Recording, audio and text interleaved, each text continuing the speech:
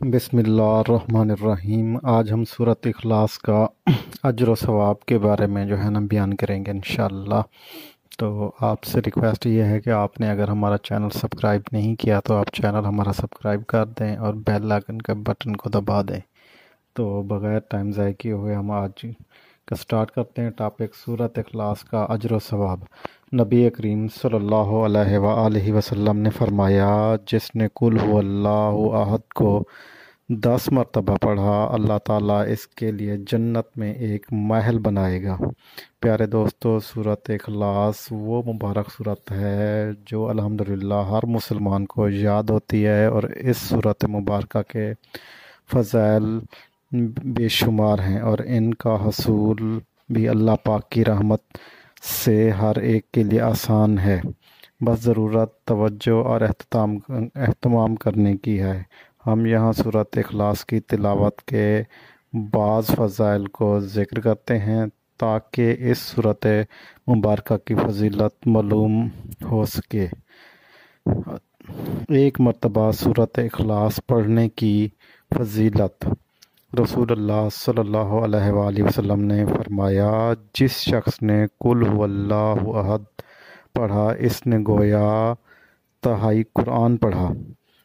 फ़र्ज़ नमाज़ के बाद दस मरतबा सूरत अखलास पढ़ने की फजीलत रसूल अकरम सल्लल्लाहु अलैहि वसल्लम ने फरमाया, तीन अमल ऐसे हैं कि जिनको अगर कोई ईमान की हालत में करता है, वो जन्नत के जिस दरवाज़े से चाहे दाखिल हो जाएगा और जिस हूर से चाहे निकाह करेगा।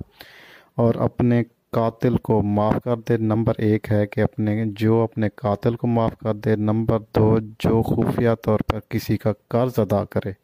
अब लोगों को दिखाने के लिए आप कर्ज ना अदा कीजिएगा, किसी का कुछ ऐसे करते हैं तो खुफिया तौर पर आपने कर्ज अदा करना है किसी का। पहला जो था वो था कि अपने कातिल को माफ़ करना, अल्लाह ताला। और तीसरा हमारा है कि जो हर फ़र्ज़ नमाज़ के बाद दस मरतबा सूरत अखलास पढ़े तो इसको क्या होगा? फ़र्ज़ नमाज़ के बाद अखलास पढ़े। अच्छा जी, इसके बाद जनाब हज़रत अबू बकर सदीक रज़ी तु ने रसूल अकरम सल्लल्लाहु की खिदमत में अर्ज़ किया, या रसूलुल्लाह सल्लल्लाहु अलैहि वसल्लम, अगर इन में कोई एक काम करे, फरमाया, इसे भी यही दर्जा हासिल होगा। दस मरतबा सूरत अखलास पढ़ने की फजीलत। नबी करीम सल्लल्लाहु अलैहि ने फरमाया, कुल अहद को दस मरतबा पढ़ने वाला अल्लाह ताला के लिए जन्नत में एक महल बनाएगा। अल्लाह ताला इसके लिए जन्नत में एक महल बनाएगा। हज़रत उमर रज़ी अल्लाह ने ये फजीलत सुनकर अर्ज़ किया, या सल्लल्लाहु अलैहि वसल्लम, तब हम तो इसे कसरत से पढ़ेंगे। आप सल्लल्लाहु अलैहि वसल्लम ने फरमाया, अल्लाह के पास किसी चीज़ की कमी नहीं और वो बहुत पकीज़ा है। यानी तुम जितना पढ़ोगे, अल्लाह ताला इतने ही महल तुम्हें अता फ़रमाएगा। अल्लाह ताला हमें इस पे अमल की तोफ़ी अता फ़रमाए। पचास मरतबा सूरत अखलास पढ़ने की फजीलत। हज़रत अनस रज़ी अल्लाह से रवायत है, जो पचास बार कुल अहद पढ़ेगा, अल्लाह ताला इसके पचास साल के गुनाह माफ़ कर देगा। सुबहानल्ला सूरत अखलास के पढ़ने की फजीलत।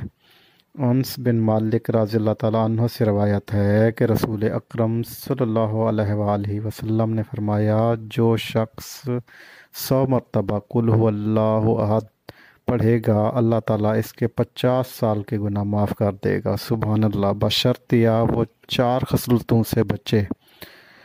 हरमत वाला खून बहाने से, हराम माल खाने से और जनाकारी से और नाजायज़ मशरूबात से और तबरानी की रवायत है कि नबी करीम सल्लल्लाहु अलैहि वसल्लम ने फरमाया, जो नमाज़ में या खारिज नमाज़ में सौ बार कुल अल्लाह पढ़े, पढ़ेगा, अल्लाह ताला इसके लिए जहन्नम से आज़ादी लिख देगा।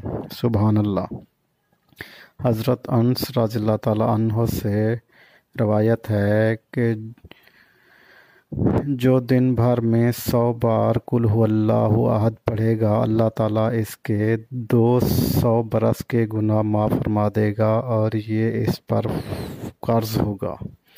दो सौ मरतबा सूरत अखलास पढ़ने की फजीलत हज़रत अनस रज़ी से रिवायत है कि जो दिन में दो सौ मरतबा सूरत अखलास पढ़ेगा, अल्लाह ताला इसके लिए पाँच सौ पाँच सौ पंद्रह पंद्रह सौ नेकियाँ लिखेगा, मगर ये इस पर कर्ज, यानी कर्ज माफ़ ना होगा।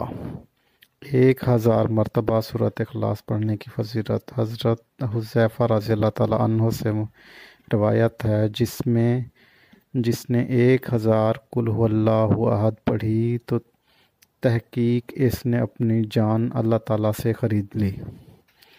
हमारा वक्त सूरत अखलास हमें वक्त सूरत अखलास पढ़ने वाले सहाबी का मरतबा हज़रत अनस रज़ी तह फरमाते हैं कि हम गज़वा तबूक में हजूर सल्लल्लाहु अलैहि वसल्लम के साथ थे।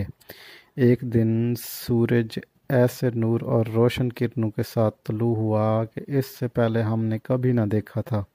थोड़ी देर बाद हज़रत जबरील अलैहिस्सलाम नबी करीम सल्लल्लाहु अलैहि वसल्लम की खिदमत में हाज़िर हुए। आप सल्लल्लाहु अलैहि वसल्लम ने फरमाया, जब्राइल, जैसे आज सूरज तलू हुआ, इससे पहले ऐसा कभी नहीं देखा। उन्होंने अर्ज़ किया, या रसूलुल्लाह सल्लल्लाहु अलैहि वसल्लम, आप के सहाबी मुआविया बिन मुआविया लेसी मदीना तैयबा में इंतकाल फरमा गए। हैं। अल्लाह ताला ने इनकी नमाज़ जनाजा में सत्तर हज़ार फरिश्ते भेजे हैं। आप वसल्लम ने दरियात फरमाया, इन्हें ये मकाम कैसे हासिल हुआ? सैदना जब्राइल ने फरमाया, ये दिन रात चलते फिरते, उठते बैठते हर हालत में कुल अल्लाह आहद की तिलावत किया करते थे।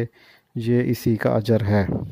सूरत अखलास की मोहब्बत जन्नत को लाजम करती है। हज़रत ऐशा रज़ी तह फरमाती हैं कि रसूल अलैहि वसल्लम ने एक शख्स को किसी सरिया में भेजा तो वो अपने साथियों की इमामत कराते हुए अपनी किरात को कुल आहद पर ख़त्म किया करता था।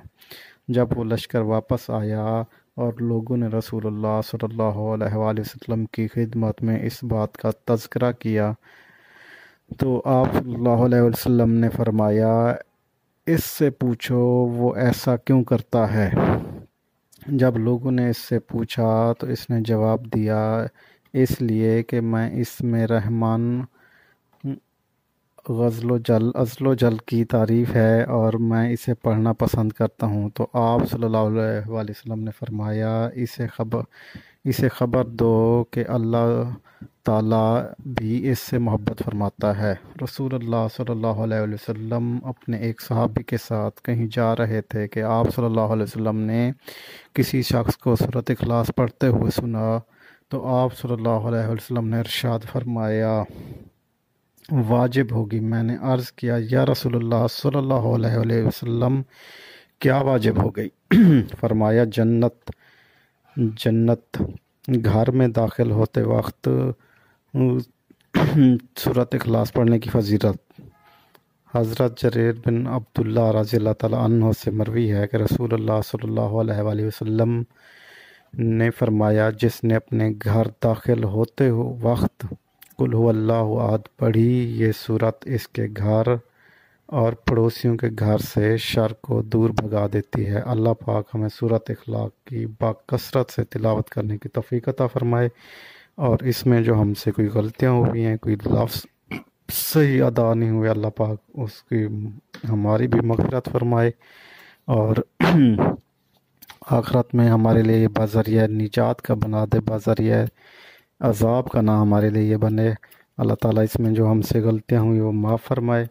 और हमें, हम सबको जो है ना सीधा रास्ता दिखाए, नेक रास्ते पे चलने की तोफ़ी अता करे, बुरे रास्ते और बुरे सोबत से लपाक हम सबको बचाए। और अगर आप लोगों ने हमारा चैनल सब्सक्राइब नहीं किया तो एक बार दोबारा आपसे रिक्वेस्ट